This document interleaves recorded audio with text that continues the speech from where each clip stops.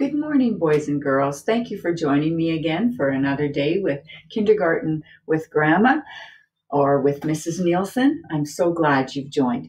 And let's start our day with our good morning song. Are you ready? I hope you know it by now and can sing with me. Good morning to you. Good morning to you. We're all here together, no matter the weather. We clap, wave, and say, This is a new day. Maybe we can sing it again and do some jumping. Could you do that with me? Let's try it. Good morning to you. Good morning to you. We are all here together, no matter the weather. Let's jump and we'll say, This is a new day. Thank you so much for singing with me. And let's try to make this a good day, okay? Because we can. We can have a happy face and a great attitude and be helpful. Let's start with our calendar, okay? Let's find out what day it is today. And we start with number one. One, two, three, four, five, six, seven, eight, nine, ten, eleven, twelve, thirteen, fourteen, fifteen, sixteen, seventeen, eighteen, nineteen, twenty, twenty-one, 22. What comes after 22? Yes, a 23. What color should it be to keep our pattern going, boys and girls? Let's start here and see, remind ourselves of our pattern. Blue, yellow, yellow, yellow. Blue, yellow, yellow, yellow. Blue, yellow, yellow. Yes, a yellow comes next. 23 is yellow. What will come after 23? 24. And will it be yellow or blue? You're right. We have a blue, three yellows, and another blue. So let's put 24 on our calendar. We just move this over so we can see what comes after 24. Yes, 25. So what should it be? You're right again. It should be a yellow because we have one blue and then how many yellows? Three yellows. So 25. And what comes after 25? 26. And what sh- color should it be? A yellow. Yes. And when we get to the end of a row, we go back and start on the left because we always read our numbers and our words are letters from left to right. So this does not go way over here. It goes here. 26. Very good. What comes after 26? Yes, 27. And what color will it be? Blue, yellow, yellow, yellow. Blue, yellow, yellow. Yes, a yellow. 27 is a yellow. And that is today. Today is Monday, April 27. Thank you, boys and girls. Let's say it once more together. Today is Monday, April 27. Very good. Let's sing the days of the week together. Sunday, Monday, Tuesday, Wednesday, Thursday, Friday, Saturday. Thanks for singing with me. Let's try the months of the year. January, February, March, and April, May, June, July, and August, September, October, November, December. These are the months of the year. Thank you. Good singing out there. I can hear it. Now, let's go on to our pocket chart. And I'm just going to move this just slightly. I hope I don't make it fall down. There. So we can still see everything. All right, let's try reading our pocket charts. It's a little change, so make sure you're looking at the words to know what they say. I like yellow, red, and brown. Very good reading. I can see purple and white. Very good. I see black manta rays. How oh, we have a new word in there. We are going to talk a little bit about manta rays today. Do you know what a manta ray is? Yes, it's something that lives in the ocean and swims. Let's keep reading, okay? Are you blue and orange? I'm not. This is pink. I am green. Are you green? I don't think so. Maybe you're wearing green though. I can see. We have another new word, boys and girls. Yes, it starts with a D. Dolphins. Dolphins. Very good. We're going to talk a little bit about dolphins and manta rays today and other things that live in the ocean. Are you ready to sing the birthday song with me? The mixed up birthday song? Let's try it, okay? To birthday, happy you. Birthday, happy, happy birthday to you, you dear Aubrianne, Emma, Lachlan, Jasmine. Happy birthday to Gunnar, Tristan, Jeremiah. Thank you for singing with me. Let's try our alphabet action song now. Stand that up a little more. All right, we need to get off our chairs if we're still sitting down because I want you to do some jumping and moving, okay, with me? Thank you. And let's begin. With what letter? Yes, A. A, alligator, A, a, alligator, B, b, bounce a ball, B, b, bat a ball, C, c, cat, C, c, cat, D, d, drum, D, d, drum, E, elephant, E, elephant. Boys and girls, if you didn't realize, this is my trunk and I'm pretending to be an elephant. E, elephant, E, elephant, F, fly, F, fly, G, guitar, G, guitar, H, hop, H, hop, I, I, itchy, I, itchy, J, j, jump, J, j, jump, K, k, kick, k, kick, L, lick, L, lick, M, march, M, march, N, no, N, no, O, opera, O, opera, P, p, pop, P, p, pop, Q, qu, quiet, Q, qu, quiet, R, er, run, R, er, run, S, slide, S, slide,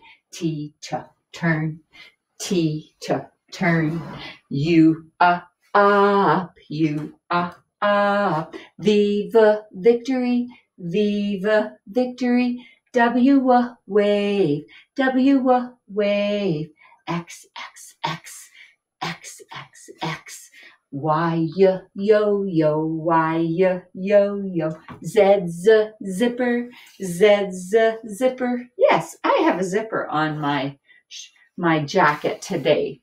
I wonder if you're wearing a zipper. All right. We are going to talk about dolphins and manta rays. And what do you think dolphins begins with? Yes, it begins with a D. Let's try drawing a D or writing the letter D. So, where do we start our letters? At the top. Very good. Where do we start our letters? At the top. Top to bottom, write a letter. We get better, better, better if we always start our letters at the top. So, D, uppercase D, starts at the top, goes down, and then it has a roundy part, just like that, and sits on the bottom.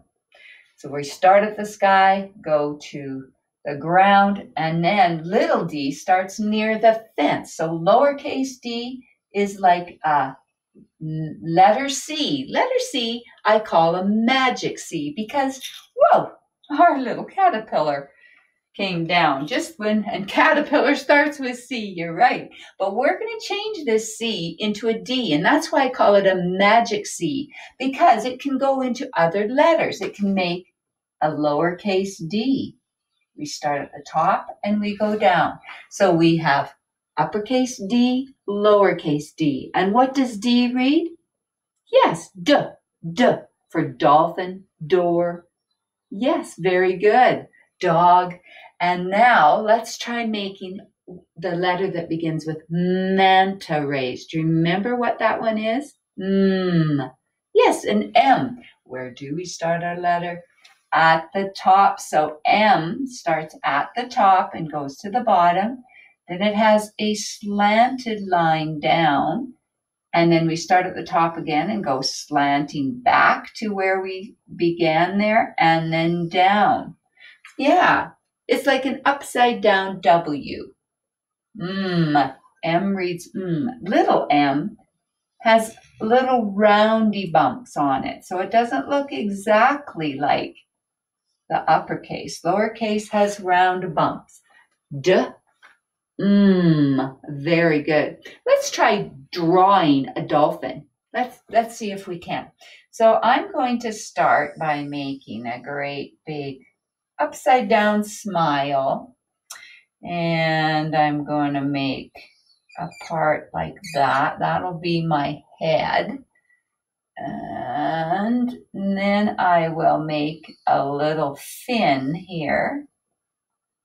And finish off this part. And then I'm going to try making the rest of his tail. It's kind of like a little smile there. Yeah, just a wavy line. It's okay to make mistakes. You know, drawing anything can be difficult, but if you just try, we can do it. And if you don't like what you what you drew, you can. They shouldn't use a pen uh, a finger to erase. We should use an eraser, or if you're writing on the magic board, you can use a magic board thing. And I didn't like that one very much, so I'm going to try again. And there's another fin. And then I'm going to give my dolphin a mouth. And yes, he needs an eye. And yeah, maybe make a few bubbles floating up. There's my dolphin. And what does dolphin begin with? He's wagging his tail. So I'm going to put a couple of lines there to make it look like it's moving. D- dolphin. Yes, it begins with a D. D. So there's my magic C. And then I start at the top and draw a line down. Daw. Yeah. O. Doll. Yes. L. And then we have a tricky part. Dolphin, it sounds like It should be an F, you're right. But for writing the word dolphin, it's tricky. We put a PH for the f sound. Sometimes PH, those two letters together read f. And f, I. What reads it? Yes, I. Dolphin. And what does it end with? An N. Dolphin. Very good. Let's try drawing a manta ray. He's going, mine's going to be talking to this dolphin. So I'm going to draw kind of like, I don't know. I'll just try this and see if it works out. I'm going to give him two big eyes.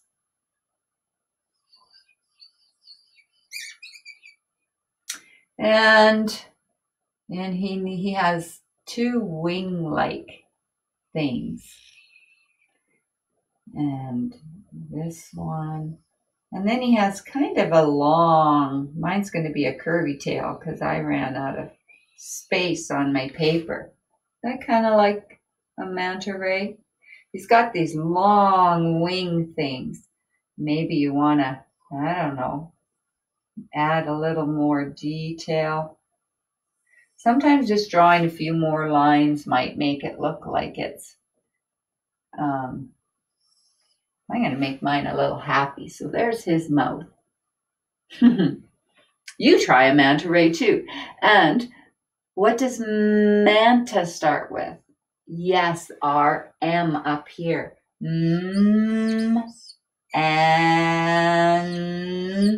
ta. It's two words. Yes, the second word starts with R. R. Ray. And the AY together says A. Dolphin, manta ray. I hope you will try to draw those. And you could write a sentence about them too. Can I read you some stories today? I have a few of them. And the first one I want to read you is called, yes, Dolphins. And it's written by Melvin and Gilda Berger. Dolphins. And Scholastic publishes it. All right, see if I can keep my fingers away from the words and still hold it up so you can see the pictures. Meet the dolphins. Dolphins have tails. Dolphins swim about 20 miles an hour. When they're chased, they can swim twice as fast. Dolphins' tails move up and down. Dolphins dive and can hold their breath for as long as eight minutes during a dive. Dolphins can dive down to the seafloor. Dolphins can jump. Dolphins can jump as high as 20 feet into the air. Dolphins jump high above the water. Wow, hey?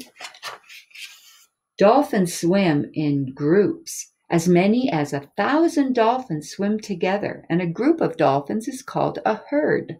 Dol- groups of dolphins follow boats. Dolphin babies are born alive. A baby dolphin called a calf is born in the water. Dolphin babies drink milk from their mother. Dolphins have teeth. A dolphin may have more than 200 teeth. Do you have that many? no. And some of you have lost teeth too, haven't you? That's kind of exciting, sometimes scary. Dolphins use teeth to catch food. Is this dolphin smiling? Looks like it, doesn't he?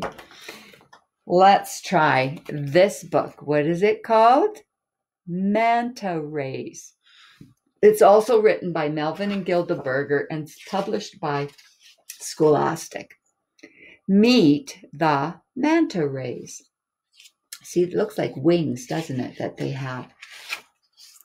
Manta rays are dark on the top Manta rays are white on the bottom. All manta rays have dark marks on their bellies. Manta rays swim. They can easily bend their bodies and make sharp turns. Manta rays have fins like wings. Manta rays jump. They can leap five feet above the water. Wow and manta rays also follow boats. Manta rays rest. Manta rays hide. They can flap their fins to throw sand on their bodies so when they're resting, they can hide and be safe. Manta rays are big. Do you see that swimmer there? The biggest manta rays have wingspans of more than 20 feet. Yeah, that is big. Small fish ride on manta rays. Lots of manta rays swim in warm waters.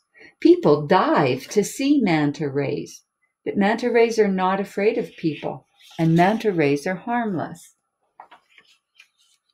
Does this look like fun? I think I would like to do that swim with a manta ray. Would you? Let's try this book. This one's called Octopus, and it's also written by Melvin and Gilda Berger, published by Scholastic. Meet the octopus. The octopus has a soft body. The octopus has no bones in its body. It's able to squeeze into small spaces. The octopus has two large eyes. Do you see them there? The octopus has eight arms. If an octopus loses an arm, a new one grows in its place. The octopus uses its arms to move about. The arms catch food. The arms carry food to the mouth. And the octopus eats crabs, clams, and mussels. The octopus can be big. The biggest octopus is more than 20 feet across, so like the manta rays. And the smallest octopus is less than one inch across, just it fit between my fingers. The octopus can be small, so it depends on the kind. The octopus swims. To swim, the octopus shoots out a jet of water, and this pushes it forward. The octopus hides. See the black inky thing it can it can um, push out of its body so it can hide. The female octopus lays eggs, more than a hundred thousand eggs at a time. The mother octopus cares for her eggs. See the baby octopuses. Do you see them there among the eggs? So interesting. It's wonderful to see all the things or learn about the things that God made. He also made, do you know what that says? Whales. Whales. This is another book by Melvin and Gilda Berger. Oops. And published by Scholastic. Meet the whale. Whales are very big. This is the biggest whale the blue whale. It's the biggest animal that ever lived on earth or in the sea. You see its shadow there? Yeah, and there's a boat. Big, very big. Whales breathe in through blowholes. Whales breathe out through blowholes. So this one's breathing out. You can tell because some water comes out too. When a whale dives, it can hold its breath for as long as two hours. Wow. Whales have small eyes. Whales have small ears. It's just a little dent there on the dolphin or porpoise. Whales depend more on hearing than on seeing. A whale can pick up sounds from a thousand, one thousand miles away. Whoa, that's good hearing. Whales have fins. Fins and flippers help the whales swim. Orcas have a six foot tall fin that looks like big black sails. Whales have flippers. That one's jumping. Some whales have teeth. Whales that have teeth eat fish and other sea animals. You can see them there. This whale has one very long tooth. That's called a narwhal. Some whales have baleen. They don't have teeth. The baleen catches tiny sea plants and animals for the whales to eat. And this is the whale's baleen. Whales are great. and I have one more story I want to read to you. This one's called Big Al. It's written by Andrew Clements, and the pictures were drawn by Yoshi. Big Al. Big Al. In the wide blue sea, there was a very friendly fish named Big Al. You could not find a nicer fish. But Big Al was also very, very scary. Mm. Other fish seemed to have at least one friend. Some had many, but Big Al had none. He did not really blame the other fish. How could he expect little fish to trust a great big fish with eyes and skin and teeth like his? So Big Al was lonely and cried big salty tears into the big salty sea.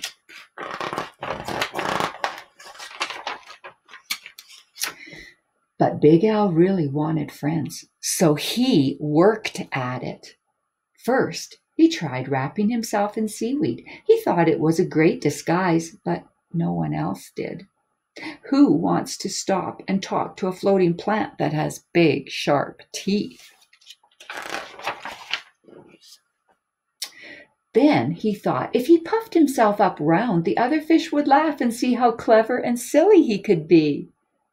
All they saw was how big he could be, and they steered clear. Very early one morning, Big Al went down to the bottom and flopped and wiggled himself into the sand until he was almost covered up. He looked much smaller. Big Al talked and joked with them and had a delightful time when the other fish came near. But then one scratchy little grain of sand got stuck in his gills, and he and he he and he sn and he sneezed. Achoo! When the clouds of sand cleared away, all the other fish were gone.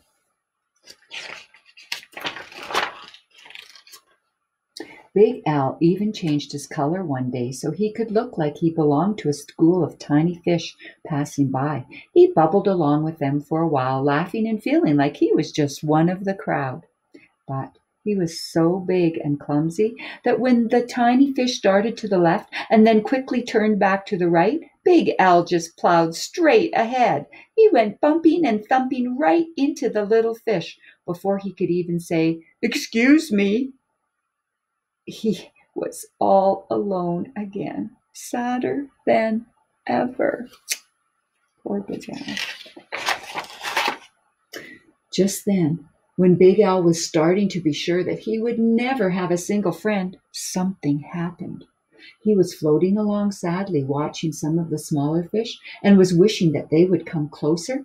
As he watched, a net dropped down silently from above, and in an instant they were caught. Big Al forgot all about being lonely, and he forgot all about being sad. His eyes bulged out bigger and rounder than ever, and with a mighty flip of his tail, he opened his mouth and charged straight at the net. The net was strong, but Big Al was stronger. He ripped right through it, and all the little fish rushed out through the hole. Yay for Big Al.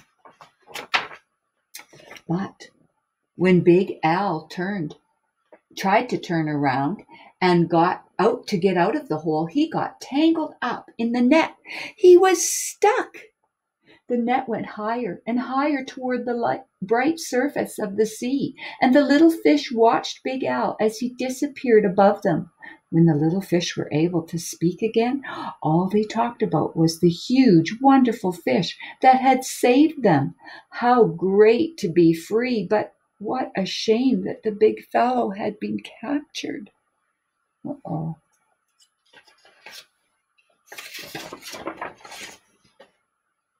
Just then there was a tremendous crashing splash above them, and the small fish dashed away. Was it the net again? Not at all. It was Big Al. These fishermen took one look at him and threw him right back into the ocean.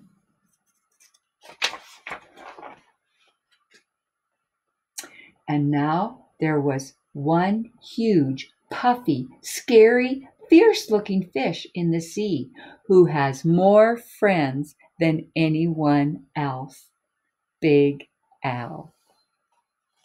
I like this story because you know what, boys and girls? Even when it's hard, when we find something hard, Big Al found something hard to do was to get friends. But did he quit? Did he quit trying? No. He tried harder than ever. When you're faced with a challenge or something hard, always do your best, okay? You can ask God for help, He will help you. You can ask your parents for help.